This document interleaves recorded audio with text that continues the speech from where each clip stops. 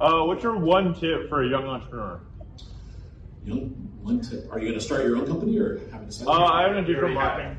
He already is. Uh, yeah, I own a digital marketing company right now, uh, but I have a few other ideas in the works, kind of, and so. Uh, yeah, my one tip would be um, so I meet a lot of tech because I'm, I'm a tech founder. Um, a lot of them say, "What is the one tip?" And I spend like ninety percent of my time selling. Um, I don't really think of it as selling. I think of it as persuading.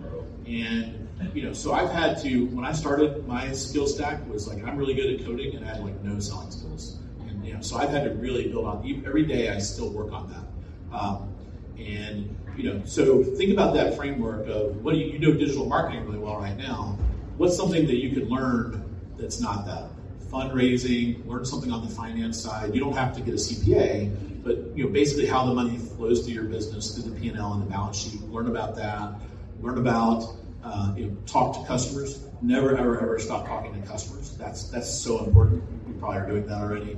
Uh, never lose sight of the customer. Most uh, most startups at some point lose sight of the customer, and then that's kind of like what kills them.